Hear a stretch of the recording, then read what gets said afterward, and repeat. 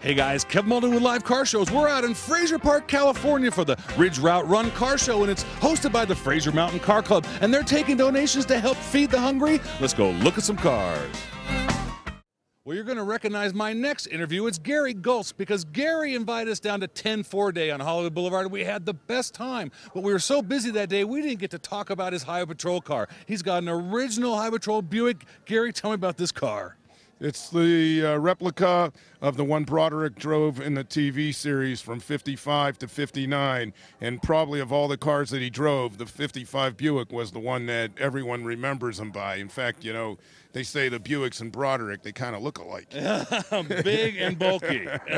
exactly. But that's great. Now, this was, was like in the opening sequences of the Right, right. They have the two. They have the cars at the roadblock on the highway out in the San Fernando Valley, and right. then the uh, narrator comes in, and I'll play you the music in a few seconds. But he says, whenever the laws of any state are broken, a duly authorized organization swings into action, and he goes on. Highway Patrol, right. Well, tell me about your Buick. It wasn't like this when you got it. You No, had it to put it all regular together. Three, it was a regular three-tone Buick, but you know I, I was such a uh, hardcore highway patrol fan when I was a kid. You know, first I thought just getting the Buick would be enough to satisfy my uh, desire to have one like Broderick, but you know, sure enough. I started driving it for a few weeks and I said, you know, it's got to be black and white. It's got to look just like his car. Next thing you know, I met some other folks, uh, particularly my friend Les Randolph out in Riverside. That's probably the consummate Buick guy. He had one like this that's now at the Peterson, and he told me all the things he could do to make it look like the real one. Next thing you know, I'm writing checks and I'm getting it done.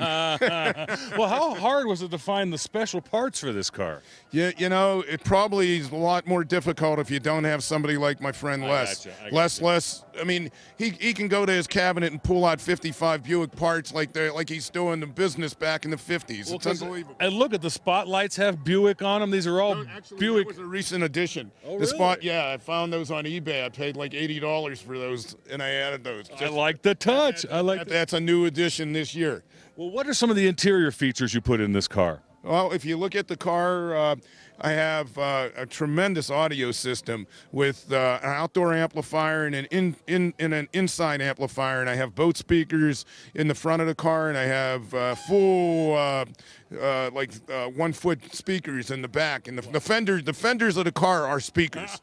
I mean, this thing puts out some sounds. Well, that's because you drive this car. You get out to the shows. You enjoy showing this car. Well, I, I've taken it across Route 66. Oh, the really? entire route with with Broderick's son, who you met at 10 4 we did, we did. Yeah, Kelly and I took it all the way from Chicago to Santa Monica in 2001. Well, that's really good. Well, I want to thank you for talking to us on live car shows. And why don't you sign us out Highway Patrol style? All right.